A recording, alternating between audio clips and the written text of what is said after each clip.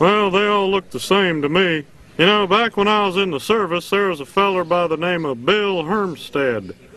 And he was a hell of a guy. But you know, Bill used Use the force, butthead. And he used to dress it. What? Use the force.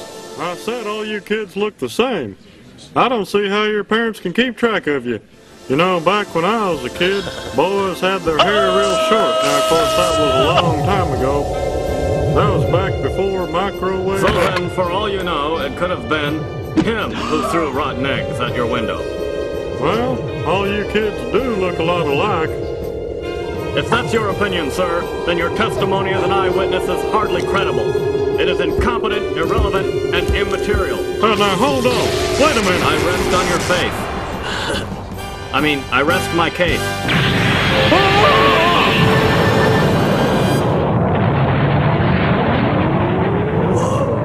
That cool. It really does happen.